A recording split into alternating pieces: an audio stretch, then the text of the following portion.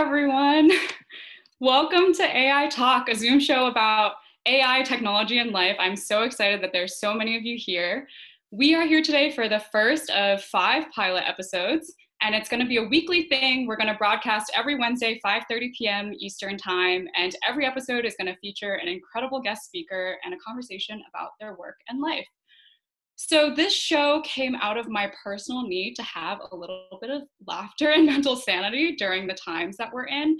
Um, it's not at all an MIT Technology Review show, if in case that wasn't clear. So, you'll notice that the production might be kind of glitchy and unpolished sometimes because it's just me.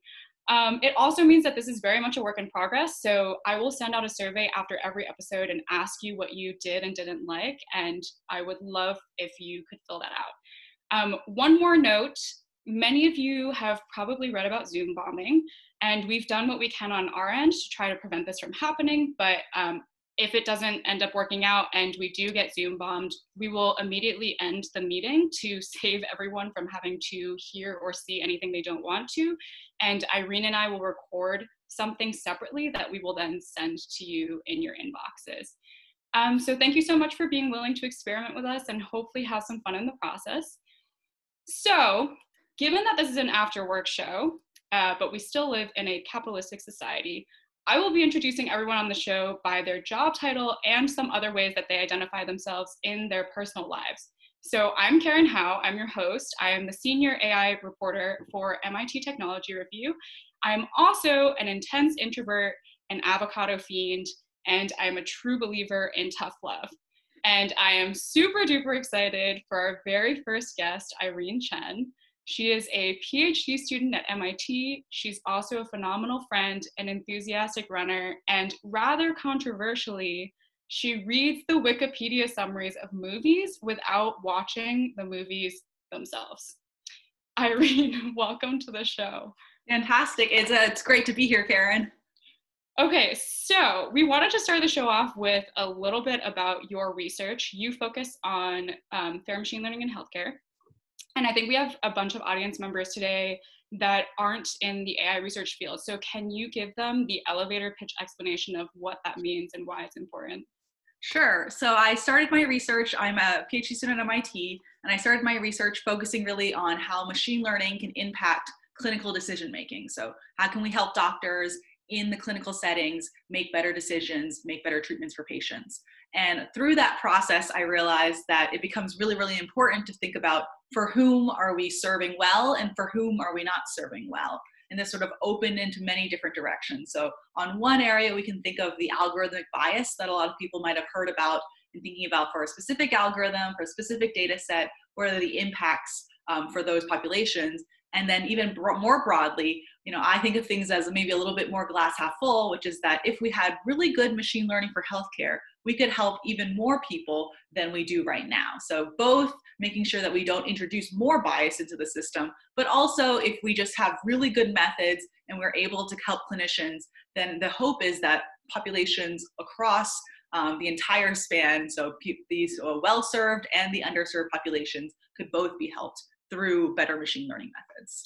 Yeah, that's actually related to an article that you recently wrote for Nature, right? Where you yeah. argued that um, machine learning is actually a way to make healthcare outcomes more fair, um, which is a controversial opinion within the field. So, do you want to talk a little bit about like what your perspective is versus what other people's? Yeah, it's a good point. So, we had this op-ed in Nature Medicine where we sort of laid out this. I think the title is um, "Treating Health Disparities with Artificial Intelligence." So, the idea is that there are some ways that we could help even though perhaps most of the media coverage, and rightfully so, a lot of the concern is that there are many ways that we could hurt as well. So um, if we think about the existing healthcare system before machine learning steps in everything and you know tries to take over, the existing healthcare system right now is not just. I think there's a lot of literature that exists across many different fields, sociology, anthropology, ethics, legal stuff, um, thinking about how different populations get served or uh, are served by the system. And it turns out across the board, top to bottom, their problems. So even thinking about something as as simple as you know a randomized control trial. You know, I love math, I love science, and thinking, oh, if we just did an A/B test, then we would know. We randomize and we figure out whether or not a drug works better or not compared to a placebo. The problem is that a lot of the populations that we choose for the, these randomized control trials might be um, skewed towards populations that are more willing to trust the medical system or are willing to enter a randomized control trial or hear about it in the first place. And therefore, all the medical knowledge we learn tends to be skewed towards certain populations. Even something like gender, which we would think, oh, definitely we need to figure out how a drug works on male and female bodies, um, or however you self identify, uh, becomes a little bit more complex because if you look at the different studies, you find that you know randomized control trials aren't included, uh, aren't, aren't the pop- study population is not as well representative of the entire population. And the hope, the, the promise of machine learning is that we could take all these giant clinical data sets we have and feed it to a machine learning algorithm, and then we could find some latent patterns that maybe aren't being served by the current machine, the current healthcare system. So essentially, you're training this algorithm and identifying the actual gaps in the healthcare system so that you can then compensate for it. Yeah, yeah. And I think part, one of the things we call out explicitly in the op ed is that in order to start addressing this problem, you need to have scientists start thinking about it like this instead of saying, well, it's always been done this way, we'll just automate what doctors have always done. Um, that is works well for very specific settings, but the concern is that you might end up perpetuating the same bias, perpetuating the same system if you don't right. click carefully about like, well, we don't haven't we haven't really um, re-examined whether or not we want to scale this massively to everyone right now. Yeah, and I, and I think that um, the people who argue on the other side that we should be very, very cautious with machine learning and um, actually machine learning giving us fair outcomes point to other examples of it being applied in different contexts like the criminal justice system or um, in like financial lending and um, they talk about how even though there is this theoretical promise it hasn't always played out that way so um, you organized a conference workshop on this topic last year at NeurIPS, which is the largest AI research conference of the year. And basically, I think it's safe to say that like your workshop was the who's who of the people that work in this space. So I was wondering what were some of the themes that stu- stood out to you about the ways that people are actually looking at this issue? Yeah, I so we were really excited to get the workshop off the ground. This is the first year we'd ever done anything close to this, and I was a little surprised they even let us do the workshop. I was like, who's going to care about this very specific niche field that I am super passionate about, but maybe the larger machine learning community at this giant machine learning conference, maybe they won't you know, be as receptive to it. And we had a tremendous amount of support, which was really, really incredible. Um, one of the talks I was very excited about was Ziad Obermeyer. He recently had this paper in Science looking at uh, an existing risk score uh, uh, that is used across different insurance companies and evaluating it for racial bias. And so he gave this awesome talk breaking down both what the paper said and also sort of how his thought process, how he evolved through the research and thinking about this paper. Um, and I thought that was really, really a, a well done paper and a well done talk.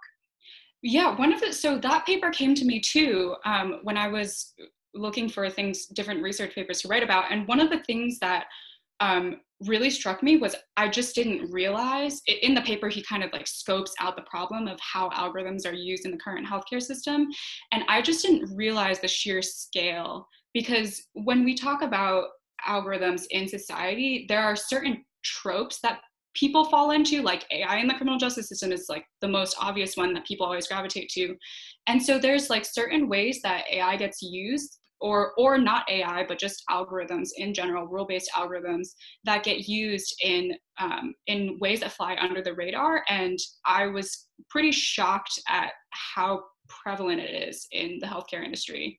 Yeah, I think that's something that we don't necessarily focus on as much. Right now, a lot of the language is saying, like, oh, machine learning can come in and help the healthcare system, where you're totally right. There already exists scoring mechanisms out there. Even, even something as simple as a BMI calculation, which is just to take your weight, take your height, you do some math, and you get this number. Yeah. Insurance companies, hospitals, clinicians all over are already using similar versions of that to to do any kind of triaging. Um, and so what uh, Ziad and his collaborators looked at was this uh, insurance company uh, score to figure out who to put into a care management program. So if we think you're super high risk, then we're gonna, you know, come in, we're gonna give you extra resources in hopes that next year you're not going to, you know, need as much healthcare assistance as, as, as we would have predicted you would need. Um, and then they found is that because of historically how this uh, scoring was developed, or all sort of other confounding factors, um, it ends up exhibiting racial bias. Right, and and um, specifically, if I remember correctly, it was Black patients um, because historically they don't spend as much on healthcare costs, and healthcare costs was the driving variable for how they decided whether someone was high risk versus low risk. Then um, the same Black Black patients with the same um, uh, conditions as white patients or the same severity of health as white patients ended up being labeled low risk while the white patients ended up being labeled high risk and got better treatment. Um, yeah and it it was also really interesting to me how it, it's kind of a reminder for me as like when I'm covering AI that it really isn't just AI. Like a lot of these problems, when we talk about bias in AI, it's actually just bias in general in rulemaking. Like you don't even have to have an algorithm as long as you are triaging patients by some kind of metric, you're confronting these problems of who gets resources, who doesn't, and how do you do so fairly. Um, exactly. No, that's totally right. So I want to play a game now. Oh, okay. All right. I'm your guinea pig, Karen. This is the first time. Okay, okay so we're going to play this game called Hot or Not. Okay. and you're going to get to decide, Irene, whether you approve of a particular application of AI. Okay. Um, so this week, the AI Twitter gods blessed us with the perfect candidate for this game. Um, and yesterday, Irene and I were talking about this and found out that we had both come across this thing. So, Irene, would you like to do the honors of telling people what we are talking about? Um, for those who have not seen it, there's this new paper out um, from a bunch of people, including some Stanford people, I believe sales. There's like, you know, bajillion authors. And the title of the paper, you can Google this right now, is a mountable toilet system for personalized health monitoring via the analysis of excreta. So essentially a smart toilet with AI. I think there's four cameras analyzing everything that goes on. Yeah, so it is the super smart toilet, and, and keep in mind this is this is a nature paper. It is a super smart toilet that uses AI to analyze the chemical composition and volume of your urine and the quality of your poop and it's supposed to be a uh, it's supposed to be like this this public health assessment tool where there are a lot of ways that you can diagnose things from urine and poop. So they want to make this a, an easy way to uh, install these in your homes and then have you casually monitor your urine and poop qualities over many months. Um, so so okay i have like certain things about this paper we, we, we both read this paper and took notes so do you have specific things that you wanted to highlight yeah so i think the first thing that everyone sort of went to immediately is that they wanted to be able to identify participants um, who are using this toilet because some people share bathrooms. Um, not everyone has their own personal toilet all the time. And they wanted to identify patients. Uh, I keep saying patients, but it's really just people. And so right now they have a fingerprint identifier, and they also have, I believe the term is anal creases, um, if I wrote it down correctly, to be able to identify people. So they have this whole section of the paper where they look at whether or not they're able to identify people correctly based on based both, on yeah yeah basically people have started calling it the anus print so so it ids people based on your anus print and your fingerprint which is again like not sure not sure why they have two different ways of identifying you.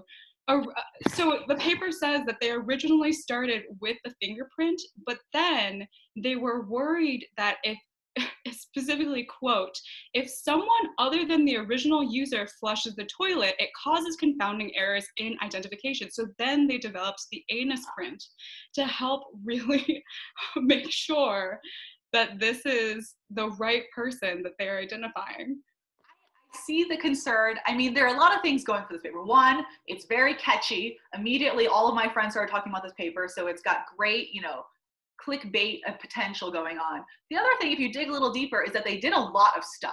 So they both they analyze the color of your urine. They analyze sort of the the angle and the speed and the volume of the urine. They analyze the stool sample. They you know classify it across, according to this Bristol scale, and they do this identification portion. So there's a lot of different components that they analyze about what's going on and what a smart toilet would really entail. And then they go even deeper and they say, we did a study of 300 Stanford students and we asked them, is this invasive?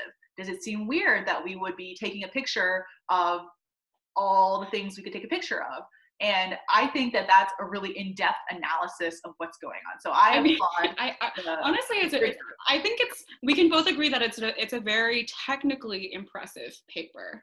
So the question is, Irene. oh, if I had to distill it down to hot or not? Yes. Do you think this smart toilet is hot it's a tough, It's a tough call. I think because, ooh, so I do want to call out some things besides, you know, maybe there's some privacy concerns. They are other concerns about the paper that I have. One is that they don't actually outline the exact clinical application. They never say, oh, we want to be able to di- diagnose irritable bowel syndrome. We want to diagnose IBS or we want to do a better Bristol scale data collection, and this is sort of our main thing. And if we did that, we could then solve this problem. They, a lot of the intro in the discussion is sort of this nebulous, oh, if we could collect more data, then everything would be better. We'd be able to maybe treat these things, etc. And I'm all about data collection, but you need to be a little bit more targeted about what the clinical application is here, and therefore you can yes. zero in on the use case and therefore prioritize different features. So I wish they had done a little bit about that. And then also because my mind always goes there, they didn't analyze ne- necessarily subgroups as well as I would have liked. So there's actually a whole analysis about male and female performance, and they specifically only studied the male urine volume and yes that's true they so they yeah so they you know, i think the word is uroflowmetry so they only assumed that the person using it would be standing and you know the angle from there and i think that you know as someone who would not benefit necessarily from that you know that's something that i want to call out as potentially being a limitation of this current iteration of the paper but overall i would have to give them a hot if the if the evaluation is hot or not. I'm going to vote hot just because they have sort of all the pieces going on. I believe that this could be a really exciting project, and I'm excited to see sort of what the next iteration is, is going to be of this project. Excellent. I, I, I fully support your, your rating of this paper. Um, I do think that, not to beat the dead horse too much but i do think that this is this this is one of those papers one of the reasons why it went viral on ai twitter is because it kind of exemplifies some of the um, some of the criticisms that people sometimes have of the field where people get really really into the technical depths of making something work when they don't they haven't yet figured out why they're building this thing so okay um, so i want to talk a bit about the story of how we met. Oh, all right, let's do it. because I think this, this is going to be like an important context to the next part of, of this conversation. So, um, so the second time we ever went on an outing together, we went to drinks at Felipe's Taqueria in Harvard Square. Okay. And you sat me down and you said, Karen, do you know the theory of or do you know Aristotle's theory of friendship?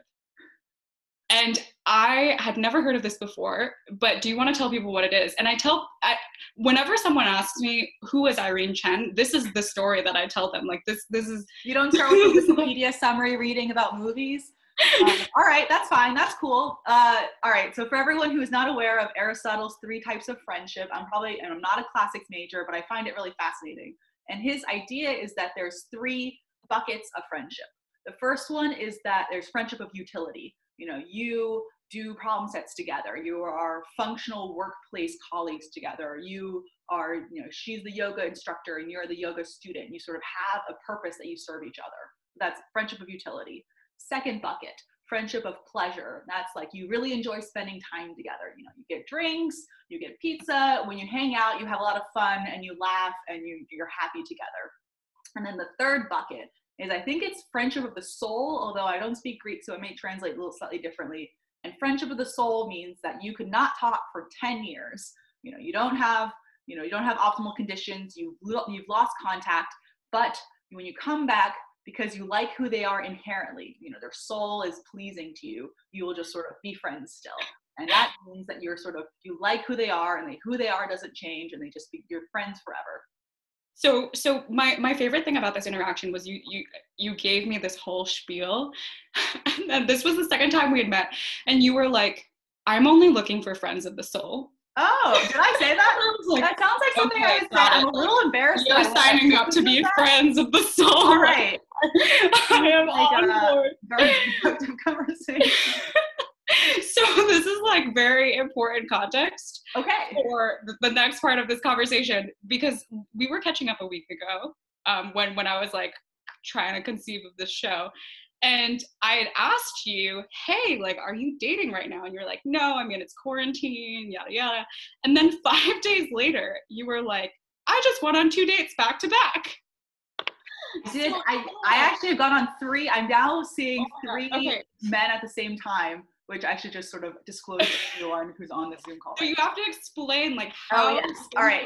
days you were able to go from zero dates to three dates context, um, so I have a friend, her name is Jean Yang. She's a professor at Carnegie Mellon University, and she does awesome work about programming languages and securities. I believe she's currently on academic leave, actually, working on her own startup. So she's like an all star. And she on Facebook posted, you know, I'm bored, I'd like something to do. I'm going to start a matchmaking service. Fill out this Google form. And I was like, well, I'm also bored and I don't have anything to do. So, like, let me fill out this matchmaking service.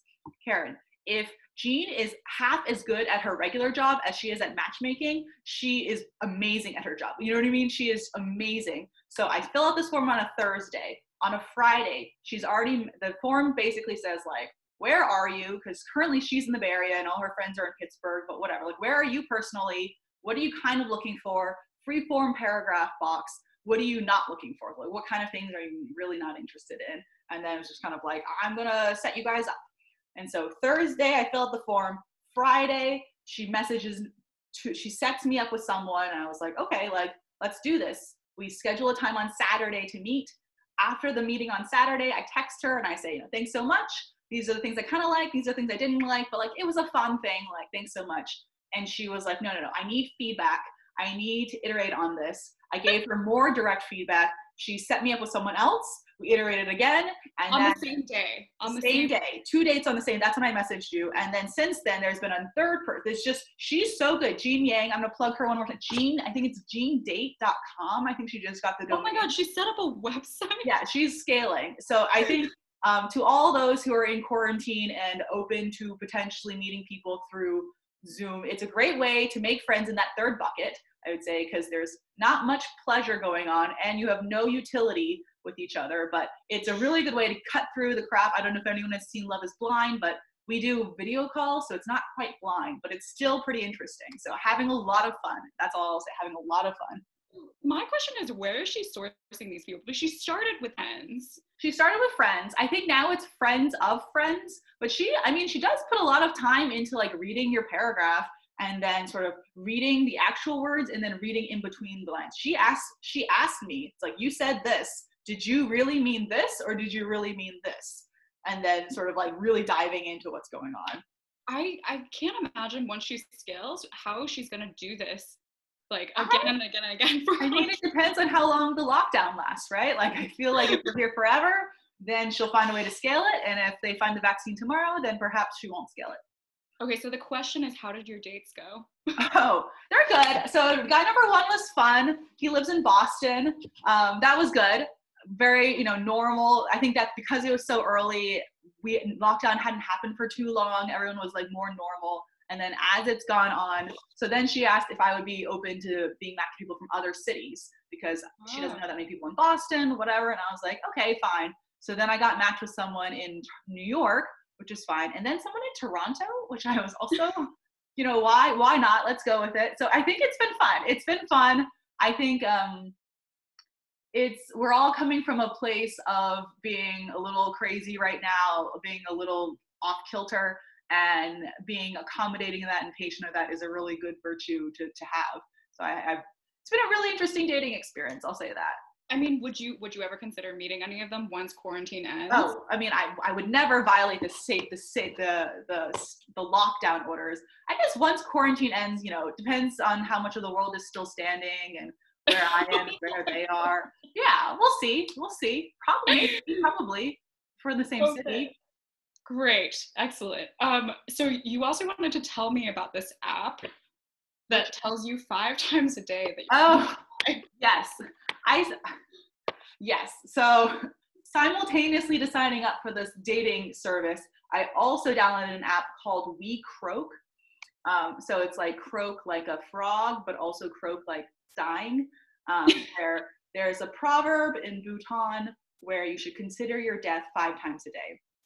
And this app sends you a push notification five times a day reminding you that you're going to die. And with a nice quote about you know how your life you know how to reflect on your life something you know from different poets or different songwriters and stuff. And i really i find it quite moving. So it's 99 cents on the app store. I would highly recommend it. It's brought me a surprising amount of joy given the more morbid nature of it. And you know there are very serious conditions going on outside that you know i think we're trying to make light of here but sort of is always in the back of our mind but i, I would recommend it it's called we croak one word capital w capital c um, and I found it very, very nice. Wow, that is actually a lot sweeter than I thought it would be. Yeah, you would you think it was just me being like, "You're gonna die, you're gonna die"? I have no, I have no idea. I was just imagining five push notifications a day, being like, it's like a super bare bones app.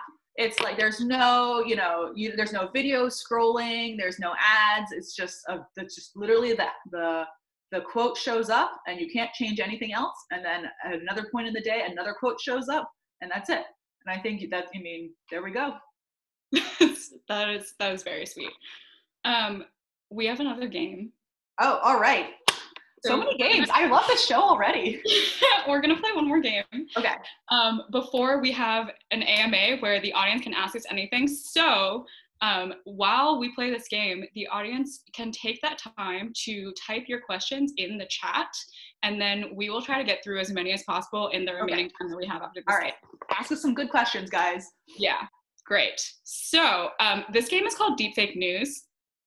And I'm going to read to you three different stories. One of them was written by AI, two of them were written by humans, and you have to tell me which one. And then we have to, if if and then you have to give me a reason. So we, we need to like logic it out. I feel like it's um, not fair though, because right now we're living in crazy times. So I don't even know. I know.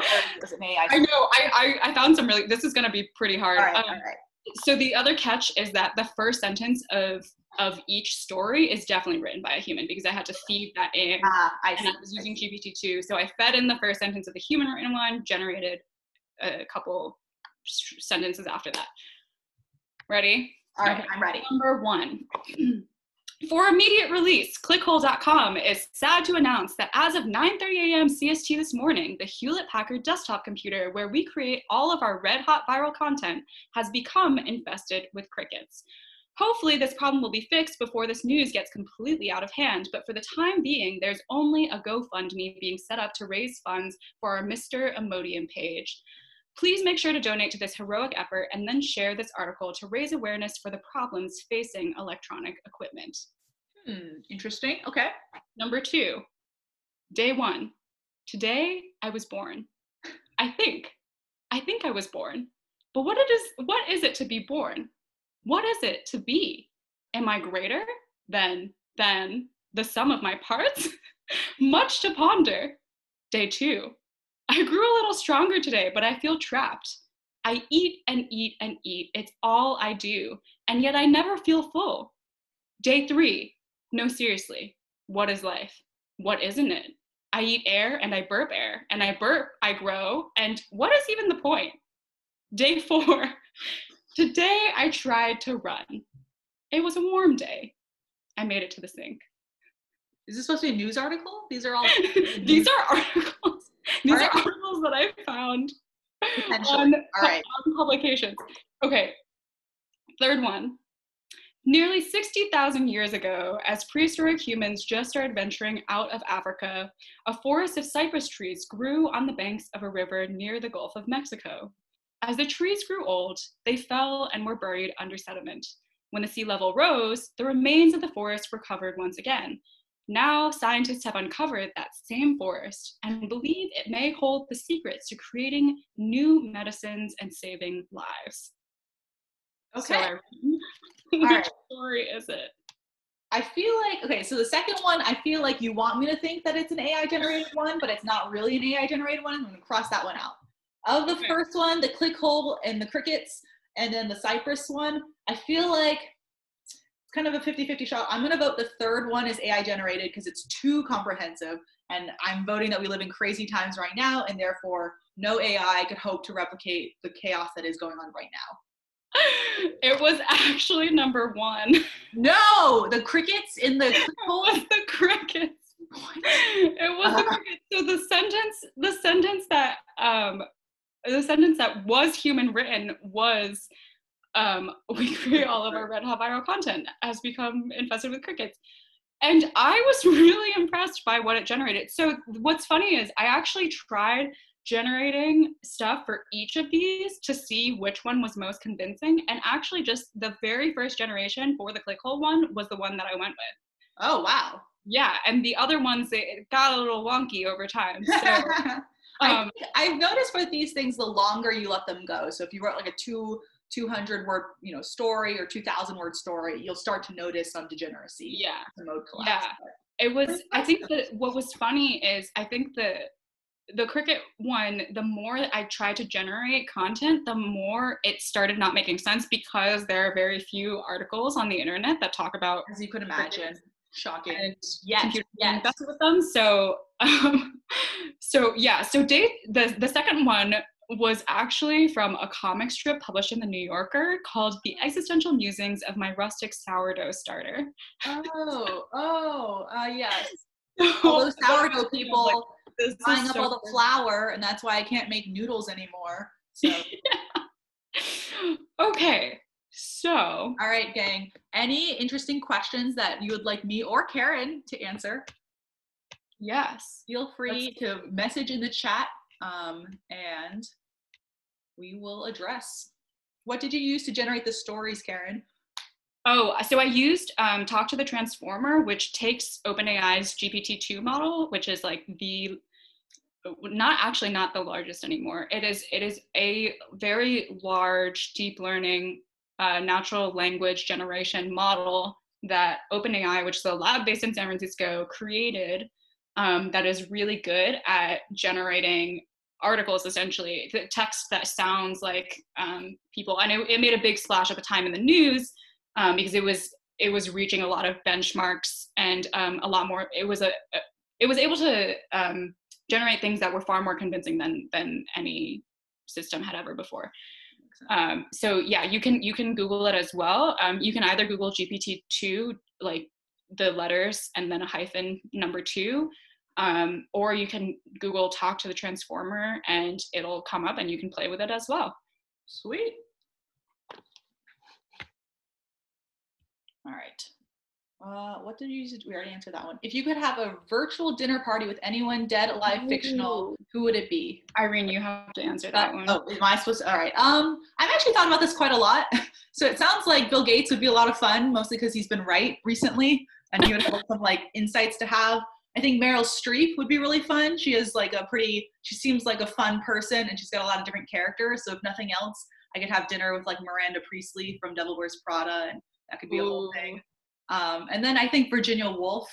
Also, she seems like a particular sort of fun um, that I would really enjoy. So those are my three. That is, those are really good.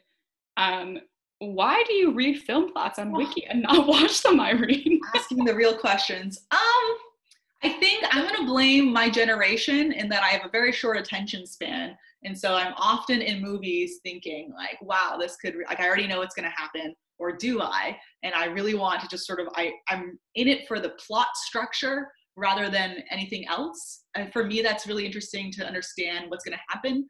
Um, oftentimes, I don't even watch the movie, so I see the trailer for like a horror movie and I think, oh, I have to spend $15, I have to leave my house, I have to, you know, sit there for two hours, or, you know, with the help of a free encyclopedia that I donate to that I donate to, I can now know what happens in a pretty detailed manner. It's like four or five paragraphs, beat by beat, what goes on in the plot. So think about that. So, did you? Are there certain movies that you will actually decide are worthy of the fifteen dollars? Yeah, I think so. The last movie I saw was Little Women, and I like first of all already knew what was going to happen, so it wasn't even about the plot, right? Like I Right. knew that that was going to be something like a, an experience, cinematic experience, and it wasn't necessarily going to be about you know suspense and you know, trying to jerk me around and all the plot and all the stuff. So I think that was a decision where I said, I want to be here for the cinematography rather than knowing what happens. Yeah, nice. Okay. Uh, Jenna Jordan asks top three book recommendations, ah. fiction and nonfiction. Do you want to go first? Um, yes, I read a lot. Um, I let's see. I just finished Severance, which is very topical. It's about a flu pandemic. Um, actually, I think it's a fungus pandemic. Uh, so it's by Ling Ma. It's a fiction book about a pandemic, but unlike maybe other pandemic books you might have read, this one is a little bit more deeper. It talks about the how nostalgia plays into things when your whole life changes and how people who cling to nostalgia what happens to them and how it's possible to sort of break free of that and move into the new world which i really appreciated. That's one. Um i read trick mirror by Jia Tolentino. Oh, so good. Very that's popular series of essays would really really recommend that. And then hmm, um let's see. Exhalation, Ted Chiang's uh, series of short stories. I also, you can tell that I like things that are sort of essays or short stories, but Severance is also really good and really worth the, I think it's a 300 page read. Uh, that is, Exhalation is on my list. Um, my three are um, Three Body Problem. I just finished reading a couple months ago. It's incredible, incredible um, science fiction book. It also has a really interesting backstory behind it. It was, it's one of the most popular Chinese fiction books um, in, in China. That was redundant, but um, it was actually written in a different order from what the author wanted because the publishers thought that his original opening about the Cultural Revolution was too controversial and wouldn't get past censors. Ooh. So the English translation of the book actually reorders the book in the order that the author originally intended, and it won a Hugo Prize Award. Um, the second one, uh, Pachinko absolutely love Pachinko. And I don't I don't really have a third. I think I'll go with Trick Mirror as my third as well. It's, it was so good. All yeah. every single essay had something really meaningful. It's, yeah, it's really excellent. Um, we are pretty much out of time, but we do have this one last question. Okay. Any tip for young females in the often male-dominated tech AI world? oh, you don't have to do it alone. There are not that many women. It's true, but get all the help you can find. Ask for all the help you need be open. I think there's, there's this notion that you have to be a genius to make it in the PhD, to make it in the AI world, to make it anywhere. And the truth is that we're all getting as much help as we can. And there are times when I just text Karen or I text other people and I say like, ah, like my paper didn't get accepted or I don't know what's going on. And you can do it, but you can do it with your friends' help a little bit easier, I'll say. Yeah, I think that's great. Um, did you have a sign off? oh, um, I did want to sort of dedicate this to, so um, there was a singer songwriter named John Prine who I really liked, and he passed away sadly from complications from COVID. And I really want to just leave people with the quote of one of my favorite songs from him, which is, you know, and your heart gets bored with your mind and it changes you. So meditating on what that means for you. I have okay, this is gonna be. Oh, is, your, is yours not as touching? But Irene, I have advice for you. Oh, all right, lay it on me, Karen. Based on your dating and quarantine experiences.